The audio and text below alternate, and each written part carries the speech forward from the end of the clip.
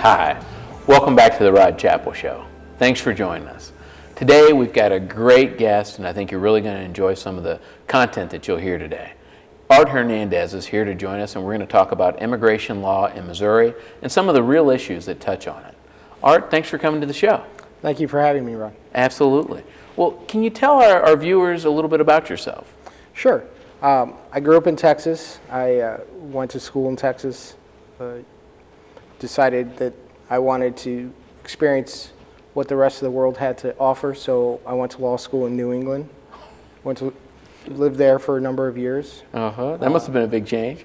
It, winters actually exist in New England. they don't exist in Texas, uh, or at least in South Texas, in San Antonio. And then um, I met my wife in law school in, in Vermont, and we she's from Missouri, and we moved down here. And I worked for the state public defender's office for about five and a half years, uh, and then I left and opened my own practice, and I've been in practice for myself for about five years now. Okay. It'll actually be five years December 1st. Congratulations. Thank you. And uh, our focus is, is immigration law, criminal law, family law, and, uh, and my wife is an attorney. She works uh, of counsel with us, and her, fa- her focus is environmental and utility law. Wow, wow. Those are uh, a, a number of different areas, and you know uh, we've kind of talked on this show before about how when you're uh, looking at a different area of law, you probably want to get somebody that actually practices in that area, right? Um, well, well, tell us what. Uh, I have had people call and ask questions about their status, and I've been practicing law for a while now. Let's put it like that, and and don't have a great sense of how vast immigration law is. Um, can you tell us a little bit about the, the immigration issues that you handle and ones that uh, you see coming up mostly? Sure. Um, I mean, in reality, immigration law is vast. I mean, it, it is a federal, it is a federal beast. Uh-huh. Uh, it, it derives from the Constitution. Um, and it is, it is primarily an, im- a federal uh, issue. So the, the laws themselves have to be uh, tailored to fit all 50 states plus the territories of the United States. So the issues that are specific to Missouri are important, but they're not any less important than the issues, for example, in Texas or in Massachusetts or in Washington. Gotcha. The, the, the, the laws have to be tailored to fit all of the U.S. It has to fit the southern border, which there tends to be a big hot topic issue Right. about. Right. Uh, but it also has to fit the, the, the Canadian border. Uh, there's the, the there's a large immigrant crisis in Europe Right. uh, that is coming out of the Syrian conflict. But that's going to affect us, and it, it is actually affecting us now. Uh, and those issues are going to be with us today. They were with us last year, they were with us years ago, and they're going to be with us in the future. Wow. You- sometimes when I think about immigration, uh, you know, I've, I've had a chance to go to New York and see uh, Ellis Island, right? I mean, that, that's, that was part of the system, right? You know, Ellis Island was part of the system. It was the largest area where immigrants from Europe came in. Uh, but San Francisco was the largest area for Chinese and, and uh, Asian Pacific immigrants for the longest time. Um, a number of large cities in, in, in the South San Antonio, Houston, Phoenix, Los Angeles those were areas of immigrant uh, activity from the southern borders. Uh, nowadays, every airport is an immigrant hub because every airport, international airport at least, mm-hmm. accepts flights from other countries. Uh-huh. Those people have to be processed through. Now, if you fly from a country to the United States or you fly out of the U.S. to another country mm-hmm. for, for vacation, Right. everyone fills out that little yellow sheet that, mm-hmm. that you get in the, in the plane. It's called an I 94. Okay. That is not a visa. That is a document that says, this is who I am, this is my dates of travel, and this is the purpose of my travel. On that I-94 document, we'll have a return date or a date that if you're coming to the U.S., a date that you should, that you have to leave by. Ah, That does not grant you any other status other than this is the time you have to leave.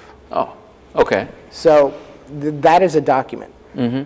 That, th- there's a, it's a travel document. There's a difference between the travel document and what is considered a visa. Okay? There are, there are a number of types of different visas. Okay. Uh, Visas are the actual status, as you mentioned earlier, that you acquire from the U.S. government. Okay. Um, There are a number of visas. For example, uh, the B1, B2 visas, which are the visitor visas, the vacation visas. Oh. If you have a family member who lives outside of the United States, uh, for example, if you have a family member from Jamaica, I have a number of, of clients who, who have Jamaican family members or family members from Canada. Right. They come to the U.S. for, to visit. They're here on a B1 or B2 visa Okay. that visa may be for 10 years. But it's, it's, it's no different than your passport. A U.S. passport is valid for 10 years. Okay. After 10 years, you have to renew your passport. Right. What a visa is, is basically a passport for a foreign national. Okay. But it's not a passport. And It, it, but there's a similar, it's a similar uh, renewal process. Process. Okay. So what the, the visa does, it confers a specific type of status that you're in. Okay? So as exam- for example, the B1, B2 visas. You could have an H visa, which is a worker's visa. Okay. Uh, Those are temp- usually uh, temporary visas. So you're only allowed to be in the U.S. for a certain number of years. Okay. Uh, Your F visas for your Lincoln students or for the students who are watching. Uh-huh. The F visa is a student visa. Okay. Uh, You are entitled to come to school. Mm -hmm.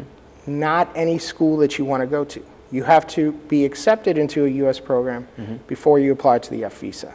Oh, and and you have to stick with that And you program? have to stay in that program. Okay. You can't transfer from Lincoln to Mizzou without approval from the U.S. immigration system, Wow. okay? Okay. If you do, you're out of status. Mm-hmm. And if you're out of status, you can be removed. In the old days, it was called dep- deportation. Right. But now we call it removal. So Is- you could be ineligible mm-hmm. or, or in removal status. And the difference between those two is ineligible means you're not allowed to come into the U.S. Removal means you have to be removed, you're going to be removed from the U.S. And so, like, if uh, removal, if, for example, somebody figured out that you were out of status, maybe law enforcement, they may actually actually take you right then, or how does that They- work? They, they can. Okay. I mean, the reality is, is Immigrations and Customs Enforcement, ICE, Uh-huh. which is the, the law, the law program, the, the law enforcement arm of, of the immigration system. Uh-huh. They are the ones uh, who will do the arresting and, and the, the process. Okay. Um, It's, it's not that common for ICE to come in if you're, if you're a student and you transferred, or if you're a worker and you, and you transfer jobs Mm-hmm. Right. Mm-hmm. without approval from USCIS, then uh, you will, not- you're out of status at Okay. that point, and you could be removed. Okay. Doesn't mean you're automatically removed. There's a giant process that has to happen. You are entitled, so the due process rights of an immigrant are different from a U.S. citizen Mm-hmm. in some specific aspects, such as right to counsel and stuff like that. Mm. But as far as removal proceedings, you still have, you're still entitled to a hearing. Okay. You're still entitled to be in front of a judge, an immigration judge, Okay. who would determine whether you actually violated an immigration law and whether you should, what the punishment for that violation should be. Gotcha. Gotcha. And uh, okay. And so there's a I-94 that we would take, just travel documents, right? There are visas that people can get to come to the United States. Sometimes they're for different lengths of time, depending on what they're going to do. Um, let, us touch back just a little bit on the on the framework that this whole system operates on. Okay. So it's a federal system that's got special, uh, I don't know, um, uh, rules for each state. Is that right? Uh, it- No, the- Okay. it- the- there are special rules for the immigration courts. I see. There- Okay. There is, in, in the federal system, there is the U.S. district courts, the appellate courts, and the Supreme Courts. Right. In the district courts, each district court has specialized courts attached to it. The Supreme Court, well, actually, what it is is the Supreme Court has a specialized court system. Okay. And that's called the, the immigration courts, the immigra- the EOIR, which is the uh, uh, Executive Office Immigration Review. So it's a, it's a mixed, it's an, an administrative court. Okay.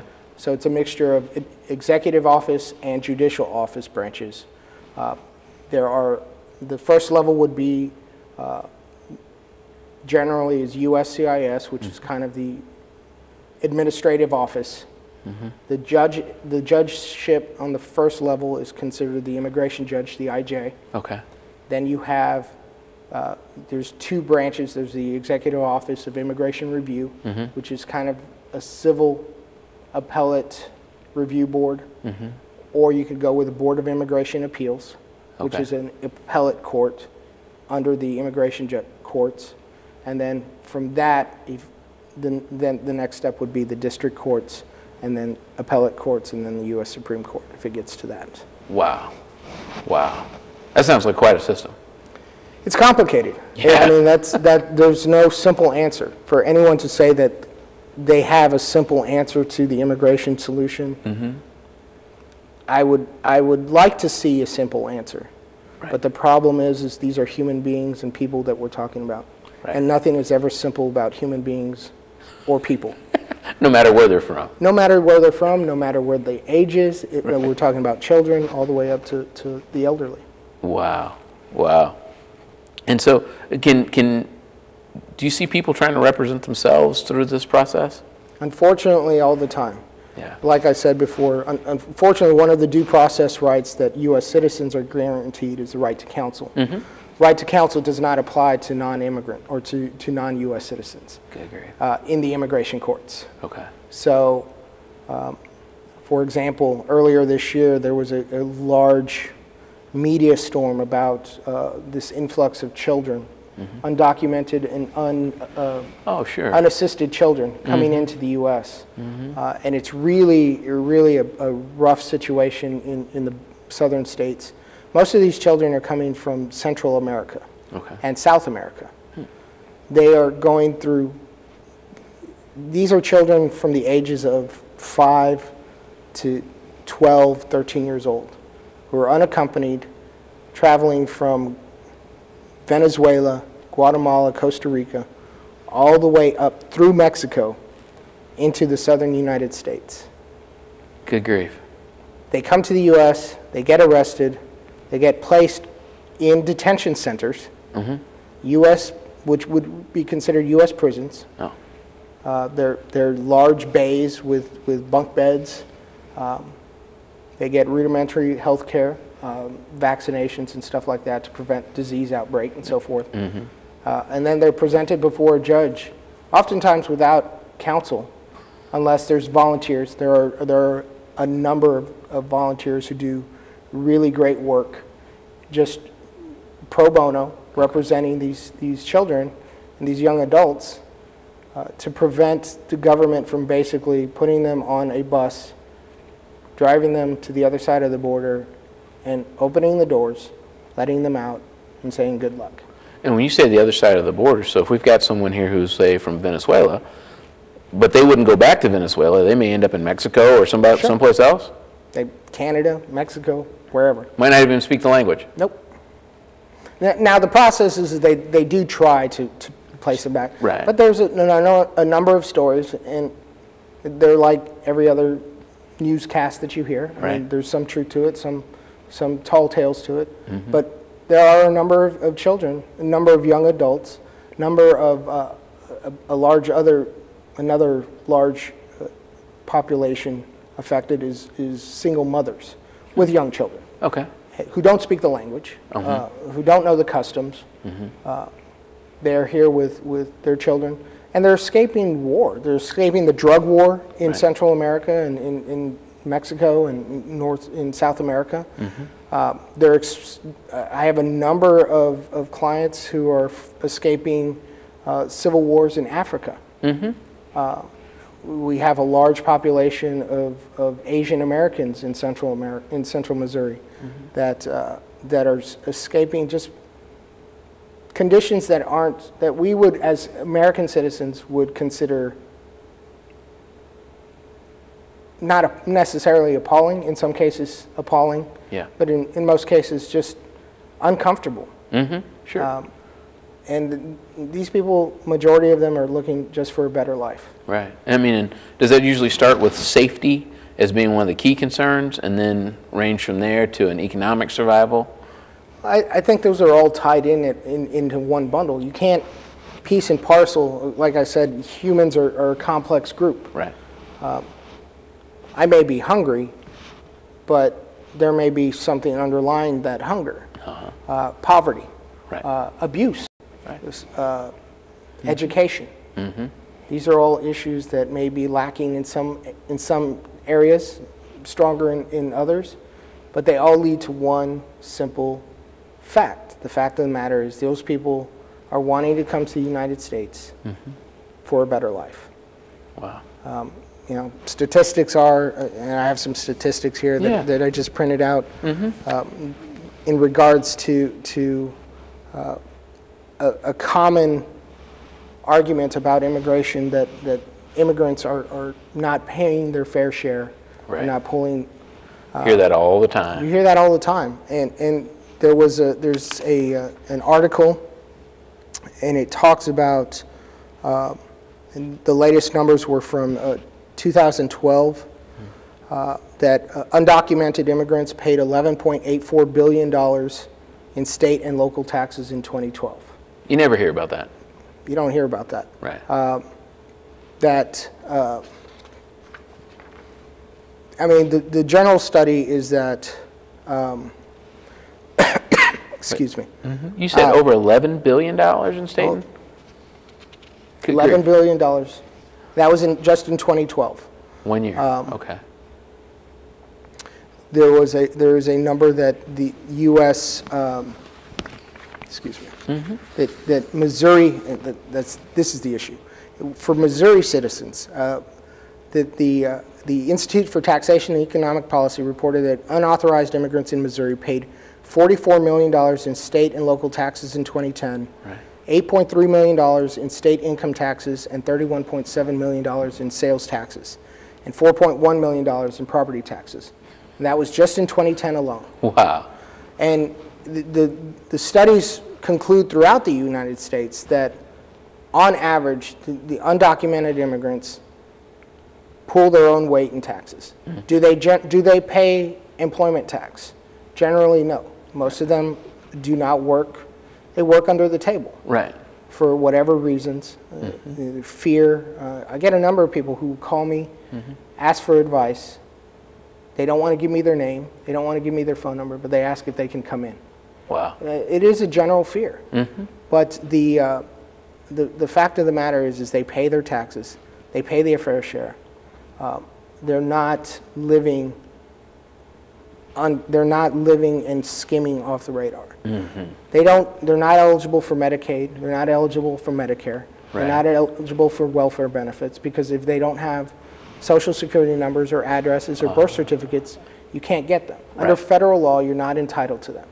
There are just as, just as many people who are not eligible for those benefits who are U.S. citizens who scam the system as there are undocumented immigrants who scam the system. Good grief. The difference is, is not that illegal immigrants or undocumented immigrants are, not, are doing it more. Uh huh.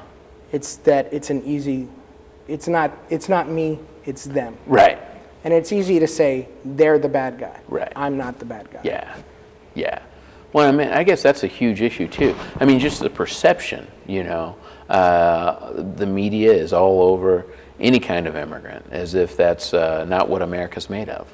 We're all immigrants. Yeah, Even, I mean, if, if you, if you want to go back and, and say that, that the Native Americans who were here, uh, you can, you can say that, you know, if, if you believe the anthropological data, mm-hmm. they immigrated to the, to, the- to the Americas 12,000 years ago. right. Uh, we're all immigrants. Mm-hmm. We're all different. Nobody's the same. Nobody's different. Mm-hmm. We're, we're just human beings. Right. And we're all looking for, we all either have children or family members or loved ones And, and that's why I do what I do. It, it, it's a social justice issue. Mm-hmm. It's about loving your neighbor as yourself. Right. I wouldn't want to treat anybody who has a mom or dad any different than I would want anybody to treat my mom or dad. Amen. You know, Yeah. Yeah. That's huge, Art. That's huge. it's just how I feel. Amen. Man. Well, and if you are, if a person is in this system though, and you're caught up and you've made it to America, uh, or the United States, or one of its territories, I guess, right? Uh, then you can actually get a visa, or you can get what's also known, I think we, it's the, the green card. Uh, what's the official name for that these days? LPR, Legal Permanent Residency Card. But even whatever piece of paper you have, it doesn't give you the same rights as a citizen. Is that right? That is correct. Um, An LPR is a permission to remain in the United States permanently, but it does not grant you citizenship status. You have to apply to become a citizen, but in order to become a citizen, you have to, if you're not born here uh, and naturalized, Right. uh, you have to go through the naturalization process. Ah. And part of that process is to become an LPR stat, an LPR first. Okay. Uh, The way it works out is there are two types of, uh, there's two major categories of becoming a U.S. citizen. Uh, There are, there are three other categories, but the first, the primary one is family-based immigration. Second is employment-based immigration. Okay. Then you have your refugees or asylee status. Uh, Right. There's a diversity lottery program, which is a, a very specialized program uh, for certain people who are born, who live in certain countries Okay. uh, that are friendly to the United States. And the, the fifth program is a, is adoption through naturalization. Okay. Uh, But, but the big one, the big one that I deal with here in, in mid-Missouri is the family-based and the employment-based. Gotcha. Most of those are spouses of either LPRs or U.S. citizens, children of U.S. citizens or or LPRs okay. uh, who are coming to the United States. Um, You have to fill out a number of documents, pay the USCIS fee. Is that high, by the way? Uh, For spouses who, if you're a U.S. citizen or an LPR who is sponsoring a, a foreign national to become, come to the U.S., uh, there are two main forms, there are a number of additional forms that you have to file, but the two main forms are the I-485, which is the petition for alien relative, and the I-130, which is, well, the I-130 is the petition for alien, it's the U.S. citizen petitioning for the alien relative to come to U.S. Okay. And the I-485 is the alien, is the request to come to the U.S. I see. So it takes those two. So it takes those two together. Those filing fees total on those two forms, uh, almost, almost $1,500. And those are fees that only go to the U.S., that's not a fee that a private attorney would, that would charge you. Right, to actually fill those out in a way that gets them through the process. That, those are just the fees that you pay the U.S. government for them to process your paperwork, Good grief. along with the copies of your passport, your medical records, your proof that you've been married. It, it, I mean, it's a substantial packet. I mean, our packets are, are are fairly hefty. Mm-hmm. And then there's the U.S. postage included. Right, as well. right, Uh, right. But those, those, you know, we do those on a, on a regular basis.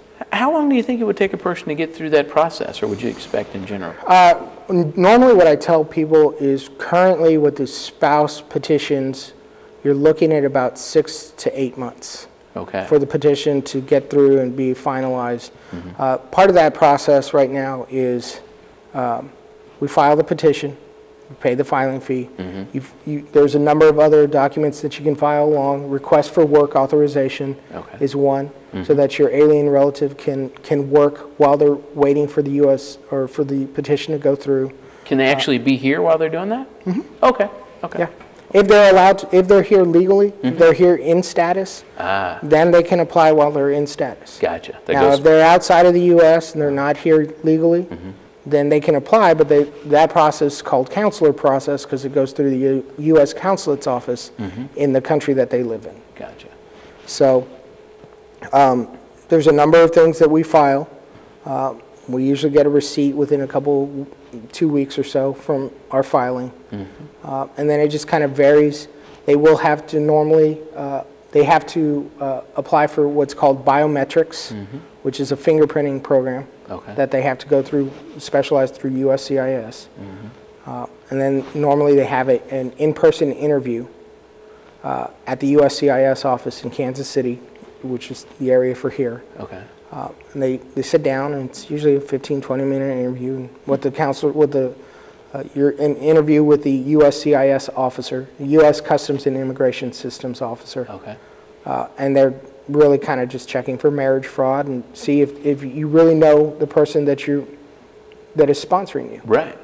Uh, But the onus is always on the petitioner. It's not really on the person, on the, on the foreign uh, national. Oh, interesting. Because the petitioner is, is the U.S. citizen who's actually asking for the permission Mm-hmm. for this person to come. And, and can they have a lawyer accompany them through that process? Yes. Okay, okay. So it's not, re- they don't get one as a matter of right, like in a criminal proceeding? Correct. But you can have one if you can afford it, right? That, and that's something we do on a regular basis. Okay, okay. The, uh, and I know that there are a ton of other aspects of, of immigration law. Some of the other things that I was hoping we might be able to talk about, and if not today, maybe another day, uh, were the criminal law implications, right? Sure. Say you're here with a visa, what happens if you get accused of a crime? Uh, or I guess uh, with an LPR. Uh, seems like that would be a very interesting thing that we probably ought to talk about. And then there's a whole educational aspect, right? You know, some of the backlash that we've seen behind immigration reform uh, seems to be really human exclusion from some of the systems like education and healthcare. Uh, I, I gather that there's that there's some implications for immigration on those areas as well. In Missouri, that, that is really the hot topic, education for, uh, for Dreamers or, or DACA students. Right. There, there's an attempt to, to, by the, well, the ACLU currently has filed a, a- a lawsuit against Missouri education system, uh, claiming that the, they're charging a, a different tuition for s- certain foreign national students than they are regular students, even though those foreign nationals live in this, live in Missouri. right. They're not charging them in-state tuition, they're charging them international tuition because they fall in a specific category. Good grief. Good grief. And I guess that's one of the things we'll be seeing in the news coming up. It's, it, yeah, it's, it's in the news now. Uh, I think the ACLU filed something last week, so it's, it's been out there, and we'll be hearing more about it fairly soon. Excellent. Well, thank you for joining us on the Rod Chapel Show. It's been a real pleasure having Art Hernandez here answering some fundamental issues about what it is to be a citizen, what it is to be an American, and the process to get there. Art, thanks for coming. I hope we have you again. Thank you, Ron. Thank I you. Appreciate it.